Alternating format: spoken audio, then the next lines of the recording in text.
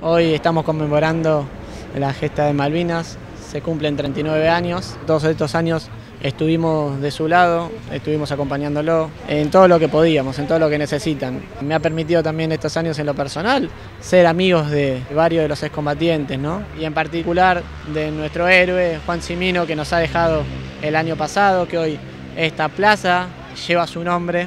Para nosotros ha sido un honor compartir con él. Él no solamente es un héroe, sino que ha sido un gran compañero de sus excombatientes y sobre todo, y lo más importante, ha trabajado para que todos estén unidos. Y eso es un gran ejemplo que tenemos que seguir todos. Así que nada más que recordarlos y nuestro respeto a todos los excombatientes. Un orgullo como sanfernandinos que somos que este lugar lleve el nombre de Juancito, ¿no? que tanto hizo por nosotros.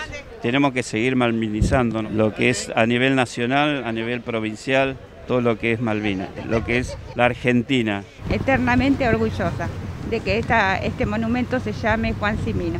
Quedó re linda la plaza también. Juan debe estar muy contento. Gracias al intendente, a Paulita Guevara y a todos los muchachos excombatientes que también dieron el ok.